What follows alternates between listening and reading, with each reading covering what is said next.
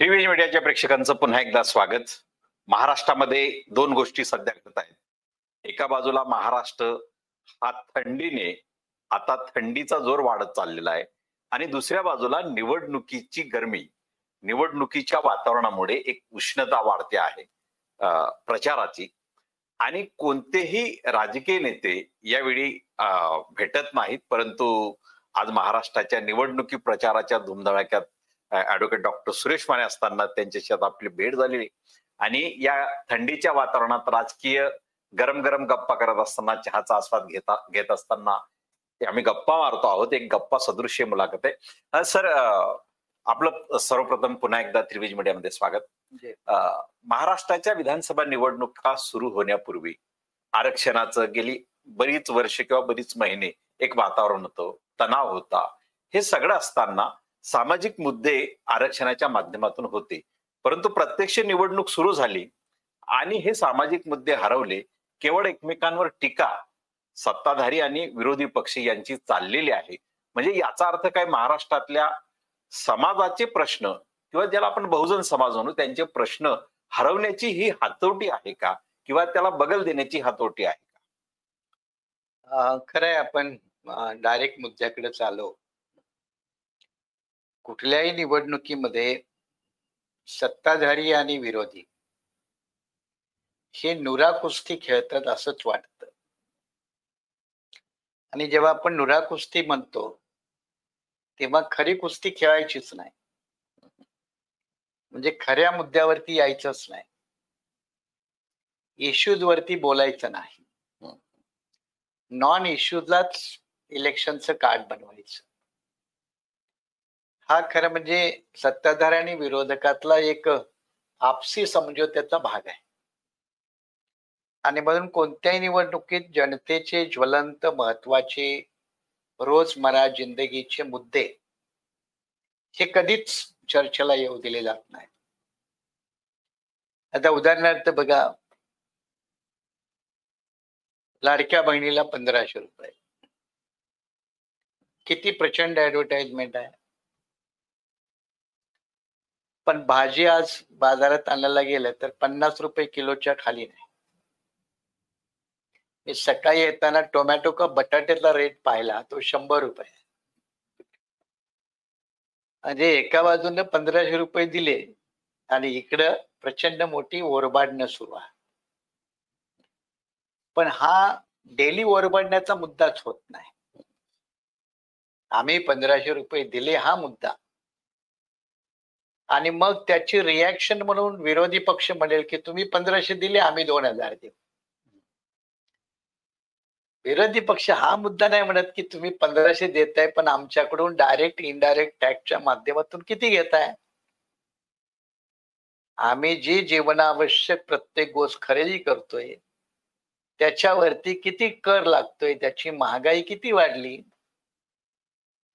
म्हणजे मला आश्चर्य वाटते विशेषतः विरोधी पक्षांचं. दोन हजार चौदाला बीजेपी आणि मोदी जेव्हा सत्तेत आले त्यांनी तेव्हा महागाईचा मुद्दा फार मोठा केला होता. बहुत हो गई महंगाई की मार. है ना? हम्म. काँग्रेसवाले हे मुद्दे उचलायला विसरलेत की काय?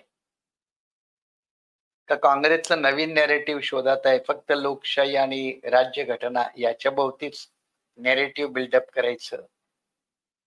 सेक्युलरिझम वरतीच नॅरेटिव्ह बिल्डअप करायचं. अँटीफॅसिझम संघर्ष. कदाचित याच थिअरॉटिकल नेरेटिव्हच्या माध्यमातून आणि सर्वसामान्य माणसाच्या रोजच्या जीवनाच्या प्रश्नाला संबंधित महागाई सारख्या मुद्द्याला दुर्लक्षित करून रोजगार सारख्या मुद्द्याला दुर्लक्षित करून हे मुद्दे आणणं चर्चेत. त्याचाच कदाचित बीजेपीला फायदा होतोय की काय? कारण काँग्रेस ह्या मूल मुद्द्याकडे येत नाही किंवा अपोजिशन. मूळ मुद्द्याकडे येत नाही. उदाहरणार्थ बघा की दोन हजार चौदाला मोदीने गॅस सिलेंडरचा भाव आज तो कुठे आहे? पेट्रोलचा भाव आज तो कुठे आहे? जगाच्या मार्केटमध्ये त्यावेळेला डॉलरचा भाव आज कुठे आहे बिलकुल हे तुलनात्मक चित्र लोकांच्या समोर मांडण्याची जबाबदारी विरोधकांची आहे. पण महाराष्ट्रातलं आताच जे काही चाललंय ते जेव्हा बघतो आणि वाचाळवीरांचे रक्तबंबा करणारे शब्दबाण जेव्हा आपण पाहतो तेव्हा उगच मराठी भाषेला अभिजात भाषेचा दर्जा दिल्यासारखं वाटत. म्हणजे एका बाजूला मराठी भाषेला अभिजात भाषेचा दर्जा मिळाला पाहिजे. राष्ट्रीय स्तरावरची मान्यता मिळाली पाहिजे. आणि सत्ताधारी विरोधकातल्या आता भाषा प्रयोग बघून त्यांचं भाषा सौंदर्य बघून असं वाटतं की यांना एकामेकाची उतरवणे. एवढाच एक कार्यक्रम आहे. वस्त्रहरण. एवढाच एक कार्यक्रम आहे. आणि मीडियाला हेच हवाय उतरवणं. वस्त्रहरण. मीडियाला सुद्धा ही चर्चा नको आहे की कांदा किती रुपयाने महाग झाला. सोयाबीनला किती भाव आला. भारतात तूर डाळीचं प्रचंड उत्पादन झालं तरी मोदी सरकारनं तूर डाळ इम्पोर्ट का केली? कांदा उत्पादक शेतकऱ्यानं प्रचंड मेहनत करून प्रचंड कांदा उत्पादन निर्माण केला. पण नेमकी त्याच्यावर निर्यात बंदी मोदी सरकारनं का घातली? याच्यापेक्षा अजित पवार शरद पवारला काय म्हणाले? शरद पवार अजित पवारला काय म्हणाले? उद्धव ठाकरे एकनाथ शिंदेला काय म्हणाले? एकनाथ शिंदे उद्धव ठाकरेला काय म्हणाले? आणि याच्यावरची कडी म्हणून राज ठाकरे सुद्धा कधी कधी काय म्हणतात? याच्यामध्ये मीडियाला बातम्या मिळतात. मीडिया या अशा प्रकारच्या बातम्यांना अवास्तवी महत्त्व देतो. आणि म्हणून आता जेव्हा आपण टीव्ही रेडिओ ऐकतोय तेव्हा ते एवढं किळसवानं वाटतंय की याच्या जनतेच्या मुद्द्यावरती अरे नोकर भरती मुद्दा आहे. ओल्ड पेन्शन स्कीम हा मुद्दा आहे. आरक्षणाचा मुद्दा आहे. आदिवासीच्या विकास योजनाचा मुद्दा आहे. भटक्या विमुक्तांच्या पुनर्वसनाचा मुद्दा आहे. ओबीसी जनगणनेचा मुद्दा आहे. याच्यावरती नाही. कारण हे मुद्दे लोकांना आता काल युपीचा तो मुख्यमंत्री आला. ते कालपासून दोन दिवस आपण ऐकतोय. बटेंगे तो कटेंगे बटेंगे तो कटेंगे. अरे हे सांगावं कोणी ज्याने बाटलं लोकांना.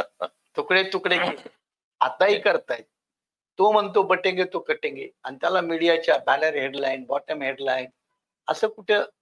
म्हणजे एक प्रकारे सर्वसामान्य माणसाचे मुद्दे निवडणूक प्रचारातून गायब करण्याचं तंत्र भारतातील राजकारणी आणि मीडिया यांनी अगदी म्हणजे हजार पटीनं अवगत केलेला आहे.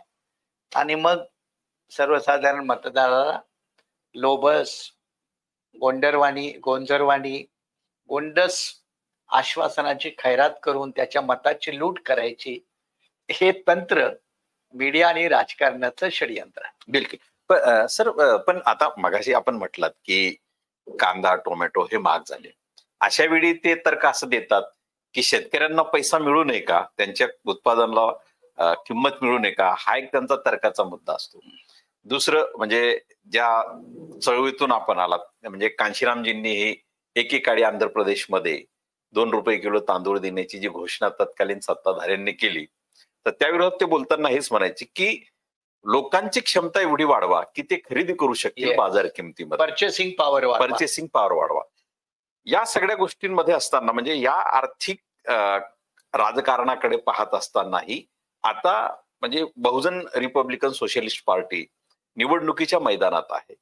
अशा वेळी एक सामाजिक मुद्दे म्हणून बहुजनांचे या निवडणुकीत नेमके काय असते? माझ्या पक्षाच्या म्हणण्यापेक्षा वाईट अर्थानं सर्व सर्व बहुजनांचे. मुद्दे. असं काय आहे तर पहिल्यांदा आरक्षण हा मुद्दा आहेच.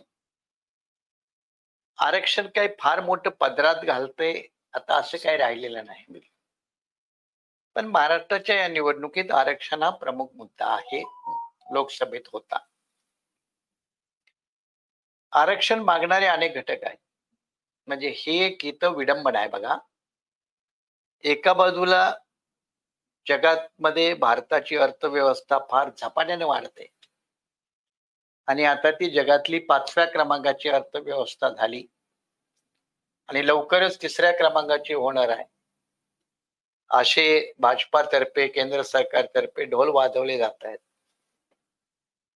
आणि त्याच वेळेला मोदी स्वतः अनेक सभामध्ये अभिमानानं सांगतायत की माझं सरकार देशातल्या ऐंशी कोटी लोकांना मोफत. धान्य देते. आता ही किती पॅराडॉक्सिकल सिच्युएशन आहे. म्हणजे परस्पर विरोधी परस्पर परिस्थिती. एका बाजूला तुम्ही देशाच्या अर्थव्यवस्थेनं किती विकास केला याचे आकडे मांडताय. जीडीपी किती वाढला? पर कॅपिटल इन्कम किती वाढलं? हे आकडे मांडताय. दुसऱ्या बाजूला सत्य काय?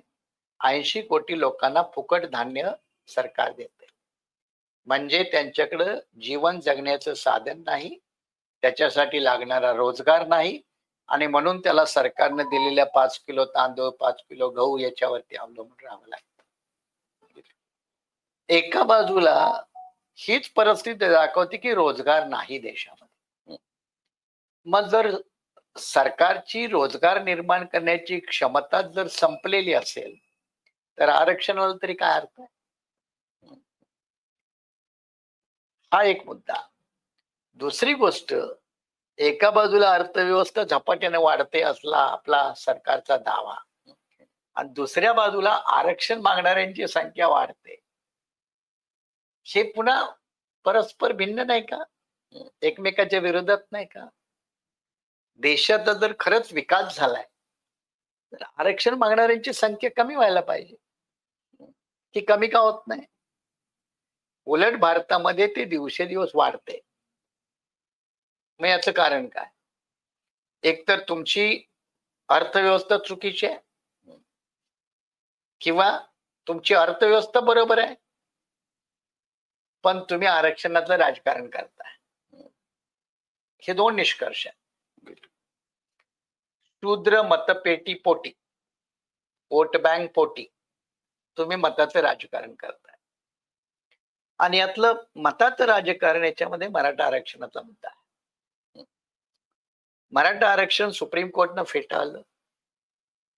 तरी देखील प्रत्येक महाराष्ट्रातला सत्ताधारी आणि विरोधी पक्ष आणि इतरही इतरही नाही मराठ्यांच्या आरक्षणाचं आम्ही समर्थन करतो. उत्तर भारतामध्ये आठ राज्यामधलं जाट आरक्षण सुप्रीम कोर्टानं दोन हजार पंधराला रद्द केलं. तर ते आठ ते नऊ राज्य पुन्हा जाट आरक्षणाच्या साठी कुठला आयोग त्यांनी नेमला नाही. पण महाराष्ट्रामध्ये मराठा आरक्षण मिळू शकत नाही ही वस्तुस्थिती आहे. तरी त्या मराठा आरक्षणाचं राजकारण सुरू आहे. याचा अर्थ आपण म्हणत नाही की मराठ्यामध्ये गरीब नाहीत. गरीब आहेत. मग गरीब ब्राह्मणामध्ये पण आहेत. गरीब बनियामध्ये पण गरीब कोणाच्या मध्ये नाही? पण आरक्षण हा काही गरिबी हटावचा कार्यक्रम नाही ना? गरिबासाठी आरक्षण नाहीये आरक्षण कुणासाठी आहे? तर ज्याचं शासन प्रशासनामध्ये भागीदारी नाही. पार्टिसिपेशन नाही. त्याच्यासाठी आरक्षण आहे. आरक्षण हा रोजीरोटीतला मुद्दा नाही आहे तुम्हाला काय खायला काही नाही म्हणून आरक्षण घ्या. ह्याच्यातला आणखी एक महत्त्वाचा मुद्दा आहे बघा की बरेचसे आरक्षणासाठी आंदोलन करणारे समूह नेतृत्व संघटना या नोकऱ्या नष्ट करणाऱ्या खाजगीकरणाच्या विरोधात उतरत नाही आउटसोर्सिंग करणाऱ्याच्या विरोधात उतरत नाही म्हणजे सरकारी नोकर भरती केली जात नाही. महाराष्ट्रात आताही जवळजवळ अडीच लाख सरकारी नोकऱ्या उपलब्ध आहेत. नोकर भरती नाही. आउटसोर्सिंग खाजगीकरण कंत्राटीकरण आणि कंत्राटीकरण खाजगीकरणाच्या कंपन्या कुणाच्या? तर सरकारमध्ये बसलेल्या मंत्र्यांच्याच.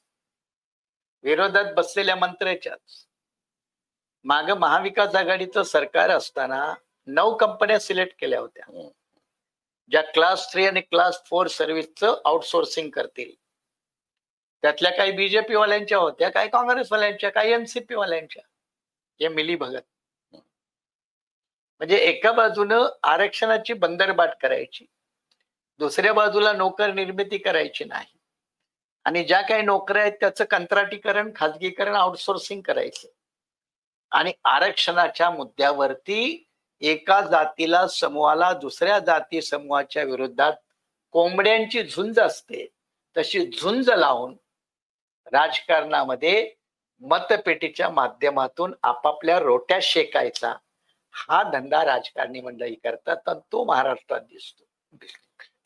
पण सर म्हणजे आता हा जो भाग आहे की नोकऱ्या खाजगी करता आहेत तिथं आणखी कंत्राटीकरण आणतायत आणि त्या कंत्राटीकरणामध्ये जो कर्मचारी आउटसोर्सिंग होतो म्हणजे सरकार अठरा हजार वीस हजार देतं पण प्रत्यक्षात त्या कर्मचाऱ्याच्या हातात दहा हजार बारा हजार पडतात.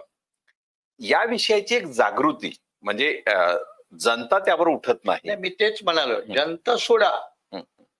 जे आरक्षणाची मागणी करणारे आता मराठा समूह आहे घ्या हं. कुठलंही नेतृत्व असू द्या खालचं आजचं परवाचं नाव घेण्याची कुणाची गरज नाही. त्यांनी कधीही कंत्राटीकरणाच्या विरोधात मोर्चा नाही काढला. हो. मराठा आरक्षणासाठी साठ मोर्चे झाले असं म्हणतात महाराष्ट्रात. मग त्याच्या तुलनेत दहा मोर्चे सुद्धा सरकारी नोकर भरती करा. कंत्राटीकरण रद्द करा या मुद्द्यावरती नाही. म्हणजे याचा अर्थ असं आपल्याला म्हणता येईल का की जसं मराठा आरक्षणावर ओबीसी आरोप करतात की ओबीसींना स्थानिक स्वराज्य संस्थांमध्ये ज्या राखीव जागा मिळू पाहतात त्यावर मराठा आपला हक्क सांगू इच्छितात ओबीसीहून दुसऱ्या बाजूला धनगर समूहाला राजकीय प्रतिनिधित्व पुरेसं मिळत नाही असं त्यांचं म्हणणं आहे. म्हणून आदिवासींचं आरक्षण मिळवण्यासाठी तिथल्या राजकीय जागा त्यांच्या लक्षात. मग हे असं काही हो पण याच्यामध्ये हे जे तुम्ही मांडला मुद्दा तोही तेवढाच महत्त्वाचा आहे. की मराठा समूहाला खरंच शिक्षण आणि नोकरीतलं आरक्षण आहे हवंय की राजकीय आरक्षणाचा फायदा घ्यायचा आहे. तीच बाब धनगर समाजाच्या बाबतीमध्ये तुम्ही बोलला ती स्पष्ट आहे. आता मराठा समाजाला राजकीय आरक्षणाची गरज काय पहिल्यांदा? आजपर्यंतच्या मुख्यमंत्र्यामध्ये सगळ्यात जास्त मुख्यमंत्री दोनशे अठ्ठ्याऐंशी आमदारामध्ये सातत्यानं सव्वाशे दीडशे आमदार. मंत्र्यामध्ये प्रचंड मोठा कोटा. त्यामुळे राजकीय दृष्ट्या तर मराठा मागासलेला नाही ना? त्यात ते भरपूर प्रतिनिधित्व आहे. मग प्रतिनिधित्व आहे ते विधानसभा लोकसभेमध्ये आहे. बरोबर? सरकारमध्ये आहे. मग आता स्थानिक स्वराज्य संस्थाच्या निवडणुकीमध्ये ओबीसीला आरक्षण आहे. मराठ्यांना नाहीये. पण तिथेही मराठी भरपूर आहेत ना विदाऊट आरक्षणाच्या शिवाय. जो उर्वरित पन्नास टक्के कोटा आहे. आहे. मराठ्यांचं प्रतिनिधित्व भरपूर आहे. मग काय ओबीसीला मिळते त्याच्यावर डल्ला मारायचा आहे का? हा पुन्हा प्रश्न येतो आणि काही लोकांचा तोच डाव दिसतो की एकूण एस सी एस टी महिला आणि ओबीसी हे मिळून पन्नास टक्के होतात. त्यामुळे काही लोकांना असं वाटतं की गावगाड्यातील आमची पन्नास टक्के सत्ता ही गेलेली आहे. पूर्वी शंभर टक्के होती. तर ती कमीत कमी पंच्याहत्तर टक्के तरी झाली पाहिजे आता. आणि म्हणून या बाजूला आमची घुसखोरी करा. हा जो त्यांनी मार्ग शोधलेला आहे तो ना कायद्याला धरून आहे तो ना सुप्रीम कोर्टाच्या निकालपत्राला धरून आहे ना राज्यघटनेची सुसंगत आहे. पण त्याच मात्र राजकारण सगळेच करतायत. काँग्रेस राष्ट्रवादी बीजेपी शिवसेना आणि इतर लहान सण सुद्धा म्हणजे प्रकाश आंबेडकरासारखे किंवा ज्याला काय आरक्षणातलं कळत नाही अशी सुद्धा लोक ते कोल्हापूरचा एक कोण गडी आहे ही सगळी मंडळी. उद्देश काय? तर फक्त आणि फक्त राजकारण करायचं आणि आपली रोटी कशी शेकता येईल त्यासाठी या विषयाचा वापर करून घ्यायचा. हा एवढाच एक उद्देश. पण सर म्हणजे आता खरं आरक्षणाची जी मागणी म्हणजे नोकरी आणि शिक्षणातलं तर त्याऐवजी शिक्षण हे सर्वांसाठी मोफत करावं आणि नव शैक्षणिक धोरण जे आहे म्हणजे त्यातून गुरुकुल निर्माण होत आहेत परंपरागत म्हणजे आधुनिक शिक्षणाचा एक त्याच्यातून वजावट होते आहे. अशा वेळी निवडणुकांच्या अजेंड्यामध्ये हा एक विषय येत नाही. आणि दुसऱ्या बाजूला राज्यातल्या शिक्षण म्हणजे शाळा ज्या आहेत सार्वजनिक शाळा नगरपालिकेच्या असतील जिल्हा परिषद या मोठ्या प्रमाणात बंद होत आहेत. आणि त्याचप्रमाणे आरोग्याचा जो प्रश्न आहे म्हणजे आरोग्य इतक्या लाखाची मोफत दिली जाईल परंतु प्रत्यक्ष रुग्णालयामध्ये जाताना या रुग्णालयात ती सेवा नाही अनेक रुग्णालयात ती मिळत नाही. म्हणजे तिथं नेमकी फसवणूक होते ऐनवेळी. तर हे शिक्षण आणि आरोग्याच्या प्रश्नावर नेमकी काय दुर्दैवानं आपल्या देशामधल्या केंद्रीय स्तरावरून राज्यापर्यंत शिक्षण रोजगार आणि स्वास्थ्य आरोग्य या तिन्ही बाबी अत्यंत दुर्लक्षित त्याचा पुरावा म्हणून आतापर्यंत केंद्र सरकारचे आणि देशातल्या अनेक राज्य सरकारचे बजेट जर पाहिले आपण तर त्या बजेटमध्ये शिक्षण आरोग्य आणि रोजगार यासाठी कुठल्याही सरकारनं केंद्र किंवा राज्य अजूनपर्यंत दहा टक्क्याचा निधी सुद्धा दिलेला नाही. राज्याच्या किंवा केंद्राच्या उत्पन्नापैकी दहा टक्के. जो मुद्दा आम्ही आता या आमच्या जाहीरनाम्यामध्ये आरक्षणवादी आघाडी आमच्या बी आर एस पीच्या जाहीरनाम्यात मांडलाय. की प्रत्येकी कमीत कमी दहा टक्के तरी निधी दिला पाहिजे चौसष्ट साली एका शिक्षण आयोगानं सांगितलं सहा टक्के द्या. कोठारी कमिशन चौसष्ट साली. हेल्थ सेक्टरमध्ये आपण किती कमजोर आहोत हे कोविड कालखंडात स्पष्ट झालं असतं. अनगिनत माणसं मेली. कशामुळे मेली? तो ऑक्सिजन नाही. तर साधं बिलकुल एक मेडिकल क्लिनिक नाही. आधी आपल्या भारतामध्ये तुम्ही अर्थव्यवस्था किती जग पाचव्या दहाव्या दुसऱ्या काय म्हणाल ते म्हणा. जगातली सगळ्यात जास्त कुपोषित बालक. आपल्या देशात आहेत भारतात आहेत. भूकबळी जगातले सगळ्यात जास्त भारतात आहेत. भुकेने तडपडून मरणारे लोक आपल्याकडे आहेत. डिलिव्हरीच्या कालखंडामध्ये सरकारी हॉस्पिटलला जायला रस्ता नाही. त्या वाटेत मरणाऱ्या अनेक महिला आहेत मुलं आहेत. आपण अजून साडेतीन टक्के टोटल आपल्या राज्य किंवा केंद्राच्या उत्पन्नातला हिस्सा आरोग्यावरती न्यायला हवा. आणि तीच गोष्ट रोजगार निर्मितीची. दोन हजारपासून ह्याच्यात एक महत्त्वाचा फरक आला. आणि ते म्हणजे शिक्षणाच्या बाबतीत केंद्र सरकारची बदललेली महत्वाची भूमिका. त्यांनी काय केलं माहितीये? हायर एज्युकेशन हे नॉन प्रोडक्टिव्ह आहे. त्यामुळे त्याच्यात इन्व्हेस्टमेंट सरकारनं करायची नाही खाजगी प्लेअर करतील. म्हणजे त्याचं व्यापारीकरण बाजारीकरण मग ज्याच्याकडे सक्षमता आहे तो ते घेईल. त्यामुळे सर्वसाधारण माणूस त्याला दुरावला. आता जे तुम्ही म्हणाला न्यू एज्युकेशन पॉलिसी चातुर्वर्ण व्यवस्थेची नवी पद्धतीनं मांडणी. म्हणून एनईपीचं आपल्याला एका वाक्यात त्याचं विवरण करता येईल.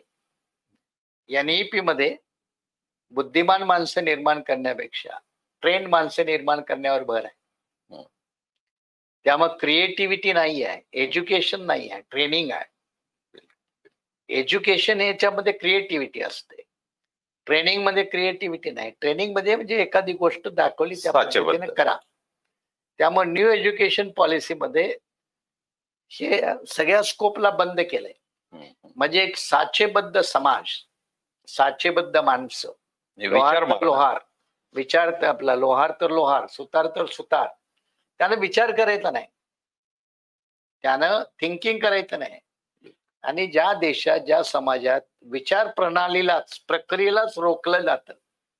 जगामध्ये बुद्धाचं महात्मा कशासाठी आहे. तर बुद्ध हा पहिला महापुरुष आहे की त्यानं प्रत्येक गोष्ट ही विज्ञानाच्या कसोटीवर तपासायला सुरुवात केली. हे असं का? असा प्रश्न निर्माण करणारा बुद्ध आहे म्हणून त्या बुद्धाचं मोठेपण आहे. ती प्रक्रियाच भारताला आता खंडित करायची आहे. संघ परिवाराच्या शिक्षण व्यवस्थेला खंडित करायची आहे. म्हणजे आहे ती व्यवस्था कायमपणे राहील आपलं वर्चस्व कायमप्रमाणे राहील हे नव्या पद्धतीने मांडण्याचा प्रकार.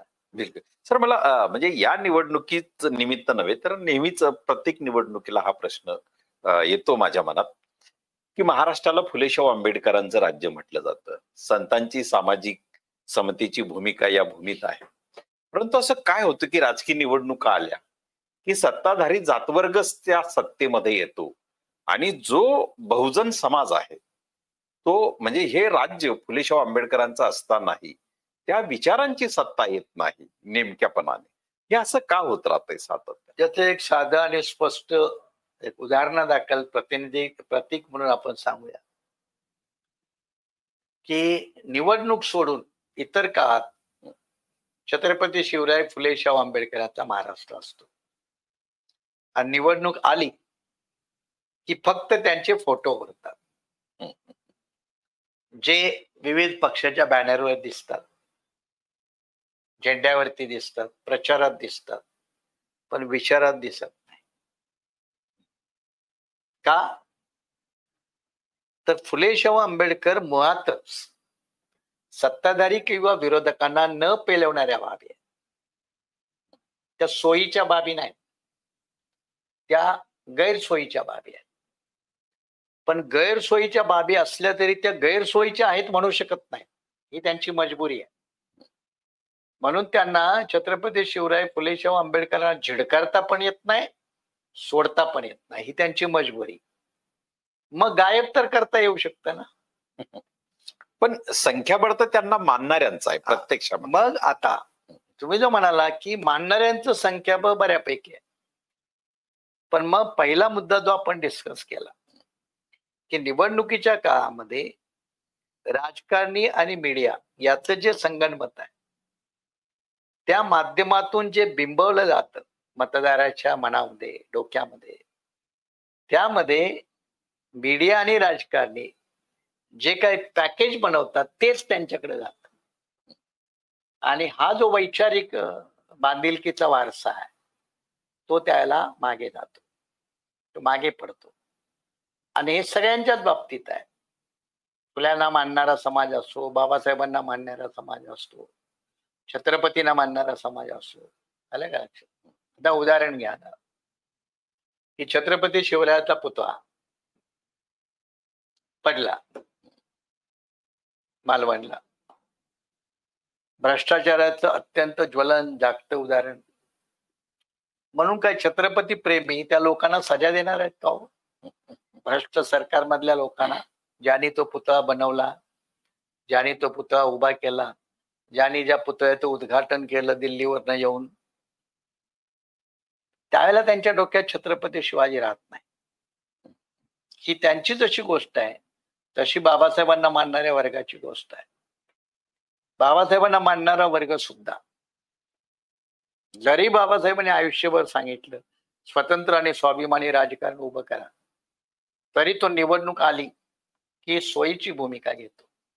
दगडापेक्षा वीट अशा पद्धतीने विचार करतो. मुस्लिमांचं राजकारण देशोधडीला लागलं. स्वातंत्र्याच्या पूर्वी पन्नास टक्क्यापेक्षा जास्त राजकीय प्रभुत्व असणारा मुस्लिम नुसत्या फाळणीमुळे नाही तर भा स्वतंत्र भारतातील नुसतं असुरक्षिततेची भूमिका आणि निगेटिव्ह वोटिंग पॅटर्न यामुळं आपलं सगळं गतशाली वैभव विसरून जातो आणि कुणाच्या तरी जोळीमध्ये मतदान करतो. आदिवासी तर जंगलातल्या न बोललेलं बरं भटक्या विमुक्ताचं न बोललेलं बरं. त्यामुळं हे जे समूह आहेत ते महापुरुषाला मानतात स्वीकारतात. पण त्याच्या आदर्शावरून वाटचाल करायला मात्र कचरतात त्यामध्ये शिवरायांचे अनुयायी फुल्यांचे अनुयायी बाबासाहेबांचे अनुयायी इतर महापुरुषांचे अनुयायी हे सगळे एकाच लाईनीत दिसतात. आणि म्हणून महापुरुष तुम्हाला आदर्श म्हणून चांगले आहेत. पण त्याच्याच नावावर त्या आदर्शावर वाटचाल करून निवडणुकीत त्या महापुरुषांच्या भूमिका रेटण्याचं सामर्थ्य खूप कमी लोकांना आहे. म्हणून फुल्यांना मानणारी लोक काँग्रेसमध्ये असतात. ज्या फुल्याने म्हटलं की या शेठजी बटजी लाटजीच्या काँग्रेसला माझा बहुजन समाजातला माणूस चार आण्याचा मेंबर होणार नाही. फुले जिवंत असताना काँग्रेस स्थापन झाली फुले म्हणाले शेठजी वडीलचा प्रश्न आहे पक्ष आहे. बाबासाहेब म्हणाले काँग्रेस हे जवळचं घर आहे. आता आपल्या अनेक दलित नेत्याला काँग्रेस हे एअर कंडिशन घर वाटतं.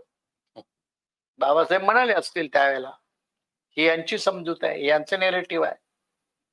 आणि या तीन चार समाजाचं जेव्हा आपण एक सामूहिक विश्लेषण करतो तेव्हा स्वतःमध्ये लढण्याचं सामर्थ्य हरवलेले समाज हे इतराच्या घराच्या वळचणीला उभे राहतात हे त्यांचं राजकीय वास्तव आहे. त्या समाजाचं त्या समाजातल्या तथाकथित नेत्याचं बाजारू नेत्याचं तर असणारच आहे. पण ज्यांची संघर्ष शक्ती संपलेले अशा नेत्यांना प्रस्थापिताच्या वळचणीला दारासमोर उभं राहिल्याशिवाय पर्याय नसतो आणि मग ते आपल्या समाजाला पण घेऊन जातात. पण सर म्हणजे याच्यामध्ये एक गोष्ट की जी प्रतिगामी व्यवस्था आपण म्हणतो तिचं केडर आहे. आणि ते केडरा केडरकडे एक नवे नवे कल्पक कार्यक्रम ते देत असतात. आणि जे फुले शाहू आंबेडकरांना किंवा समतावादी प्रवाहाला मानणारा जो युवक आहे किंवा जो समाज आहे त्यांचंही काही काळ केडरायझेशन झालं. परंतु नव्या नव्या कल्पकता येण्याचं एक अभाव त्यांच्यामध्ये जाणवत आहे का? किंवा नवे कार्यक्रम देण्यात कुठेतरी कमतरता होते? यामुळे हे होतंय की नेमकं काय? नाही तो तर मोडॅलिटीचा भाग आहे. पहिल्यांदा तुमचं फर्म लेवलचं एक आयडिओलॉजिकल फाउंडेशनच नसतं. त्याला आवश्यक असणारी फर्म लेवलची लिडरशिप नसणं. त्याला आवश्यक असणारी कॉम्पिटिटिव्ह लेवलची पर्याप्त साधन निर्मिती नसणं. आणि मग शेवटची बाब कार्यक्रम कॅडर जेव्हा पहिल्या दोन तीन बाबीच नाहीत तर चौथ्या पाचवी बाबी असून सुद्धा तुम्ही काय प्रभावी शक होऊ शकत नाही. महाराष्ट्रात निवडणुकीचा वाढता जोर दुसऱ्या बाजूला नैसर्गिक थंडी अशा वातावरणामध्ये प्रखड परंतु समशीतोष्ण विचारांनी आपलं निवडणूक काळातलं प्रबोधन मान्य ऍडव्होकेट डॉक्टर सुरेश मानेसर यांनी आपल्यासमोर पुन्हा एकदा ठेवलं. निश्चितपणे आपण हे प्रबोधन या काळामध्ये ऐकून ते आत्मसात करण्याची गरज आहे आणि त्यानुसार राजकीय कृती देखील करण्याची गरज आहे. धन्यवाद. आपण ही मुलाखत ऐकून घेतली त्याबद्दल. सर आपले मनपूर्वक आभार. त्याला आपले धन्यवाद.